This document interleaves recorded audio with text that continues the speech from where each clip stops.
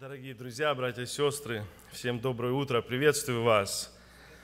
Господь дарует нам еще возможность быть вместе. Знаете, вспоминая одну карикатуру из детского журнала «Тропинка» 90-х годов, а, я вспомнил рисунок. Нарисовали малыша, такой щекастый малыш с большой соской, и написали сверху «Сильно молод, чтобы славить Бога».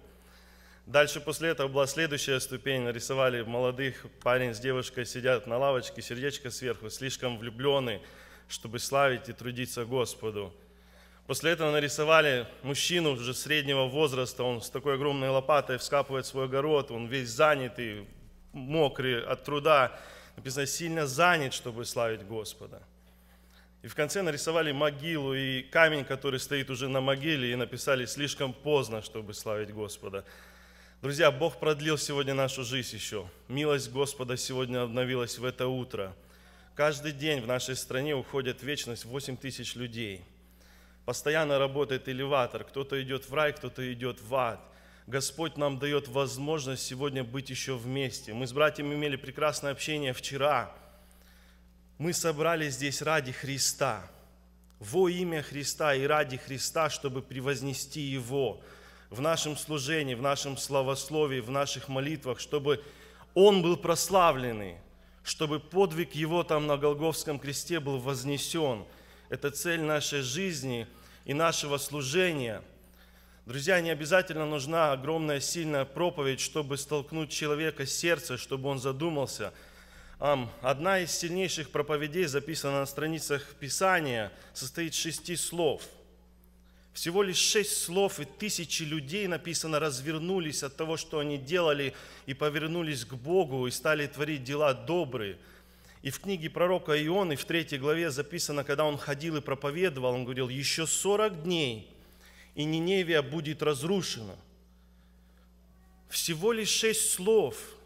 И написано, в городе, в котором было 120 тысяч младенцев, это был многотысячный город, люди по приказу царя и по слышанию слова развернулись от дел, которых они делали.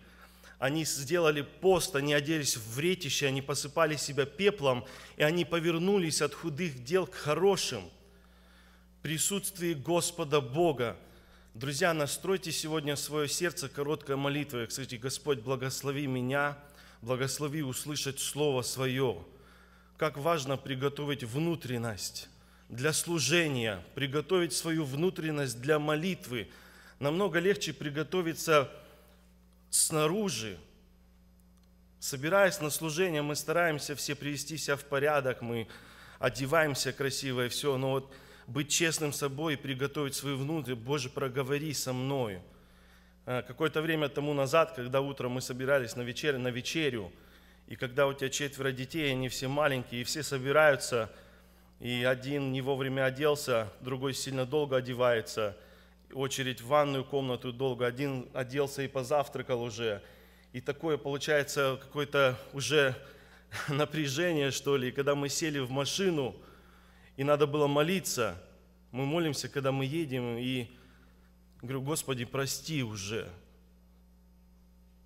Прости с утра, потому что дети видят, как мы собираемся, насколько вот это был теншн такой мы едем на служение, я хочу услышать Слово Твое, я хочу не быть лицемерным перед ними. Приготовим, друзья, наши а, сердца для слушания. А, знаете, когда происходит бой, и на войне есть, а, наверное, люди, которые шпионы, они хотят выудить что-то с другой стороны, или с этой, или с этой. И наш враг – дьявол – и он когда-то проговорился, знаете, заметно в Слове Божьем, что он проговорился в том, что важно для него и как он ведет войну против нас. И место первое, которое записано в книге Иова, во второй главе 4 стих написано слова его.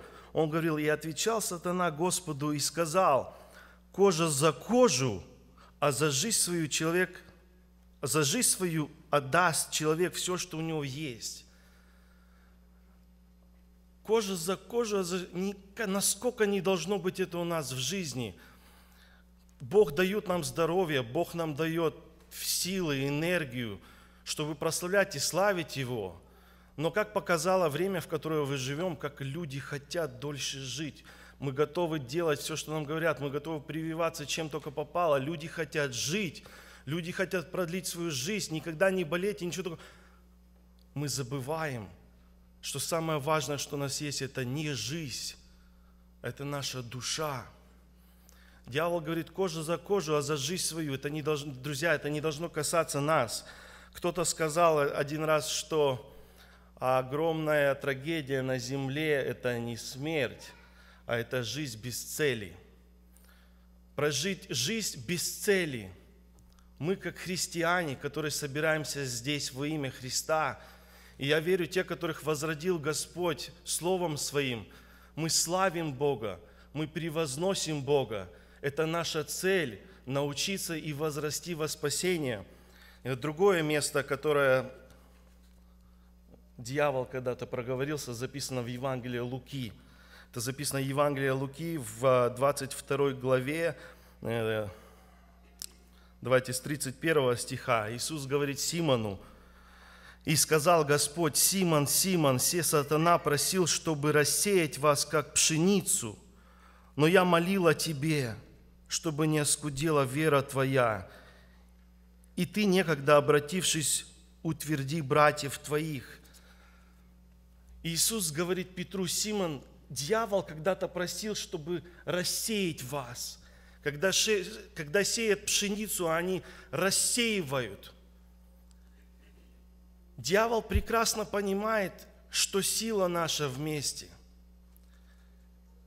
Как прекрасно мы слышали в прошлое воскресенье слова о том, что Бог церковь создал, Бог создал тело, которое являемся мы части этого тела. Все разные, с разной функцией, но мы составляем все его тело. Мы слышали в послании евреям в прошлое воскресенье, чтобы мы не оставляли наши служения – как есть обычай у некоторых оставлять это служение. Друзья, этого просит дьявол. Он хочет рассеять нас, он хочет разбить, он хочет создать группки меньше и меньше, и потом как по одной овечке, как волк, выхватить их всех. Но я молился о тебе, чтоб не оскудела вера твоя. Я верю в то, что Господь и о нас молится, и ходатайствует перед Отцом. Друзья, если бы нам оставалось немного жизни на этой земле, и мы бы знали бы, что жизнь подходит к концу, мы бы, наверное, хотели собраться с нашими близкими. Когда спрашивали, я вспоминаю сейчас у Билли Грейма, как вы хотели бы, чтобы ваша жизнь закончилась? Он еще был старец, но еще был в силах. Он говорит, ну я, конечно, не хотел бы, чтобы это что-то трагическое было, какие-то муки со мной. Я бы хотел бы с близкими своими оставить завещание, оставить пожелания и перейти в вечность. Когда Иисусу Христу оставалось здесь, на этой земле, день, сутки, написано после того, как они собрались на вечерю с учениками своими, после того, как прошла вечеря, Иисус говорит с ними, у них происходит диалог. Вот в этой горнице, там наверху, Он говорит, Он рассказывает им, Он говорит, братья, я иду к Отцу, мне скоро надо будет уйти. Я пойду, я умолю Бога, чтобы Он послал Духа Утешителя – он говорит с ними очень такие важные вещи. Он, он до этого говорит, как я хотел с вами вечерю эту иметь, как я хотел иметь это общение. Я скоро уйду, но я что-то хочу оставить вам. И если вы будете дома читать Евангелие от Иоанна, 14, 15, 16, 17 глава, будете находить такие слова, которые а, стержнем вот этого послания всегда являются. Он, он, он говорит им, смотрите, в Евангелии от Иоанна в 13 главе, 35 стих, он говорит, «Потому узнают вас все, что вы мои ученики, если будете иметь любовь между вами». Они узнают вас все, потому что вы будете иметь любовь между вами. В 15 главе, в 17 стихе он говорит им наставление все и говорит, «Сие заповедь даю вам». Человек, который видит свои муки, человек, который видит свои страдания, он знает, что мне надо умереть мученической смертью на кресте, он говорит, любите друг друга – он говорит, научитесь любить друг друга. Он говорит, заповедь даю вам. Они увидят, наши дети, наши подростки, наша молодежь, которые не возрожденные, которые еще не дети Божьи, они увидят в нас Его, если мы будем любить друг друга. Дальше проходит еще чуть-чуть, и он разговаривает с ними, и он говорит э, в 17 главе, говорит, 11 э, стих, он говорит, я уже не в мире, но они в мире. Когда он молится, он говорит к Богу своему, я к тебе иду, Отче Святой, соблюди их во имя Твое, тех, которых Ты дал мне, чтобы они были едины, как мы. Иисус, которому остается совсем чуть-чуть на этой земле, Он говорит, любите друг друга. Отец, сохрани их. Сделай так, чтобы они едины были, чтобы не было расколов, чтобы они не были рассеяны, как пшеница. Друзья, не будем оставлять собраний наших. Не будем давать место дьявола. В 17 главе 21 стих он говорит, да будут все едино, как Ты, Отче, во мне и я в Тебе, так они да будут в нас едино, да уверует мир, что Ты послал меня. Дьявол просил, чтобы рассеять их, как пшеницу. Но Христос говорил, я молил Бога, чтобы не оскудела вера твоя. Наша вера утверждается здесь. Наша вера утверждается, когда мы читаем Слово – Наша вера утверждается на общении вчера, когда мы общались вместе на разные темы. Утверждается наша вера. Утверждается вера наших детей, когда они слышат Слово, когда они видят родителей, по желанию идут в Дом Божий. Друзья, когда мы идем в Дом Божий по желанию, Господи, не потому, что папа хочет, чтобы я пришел и проспал на балконе все служение, а я хочу, Господь, я хочу прийти сегодня прославить Тебя утверждается наша вера. Братья и сестры, будьте благословены, будьте бдительны. Не будем давать место дьяволу. Мы знаем его роль, мы знаем то, что он хочет погубить, разрушить и развалить. Будем любить друг друга. Будем объединять, чтобы тело Христа не разделялось. Аминь. Помолимся Богу.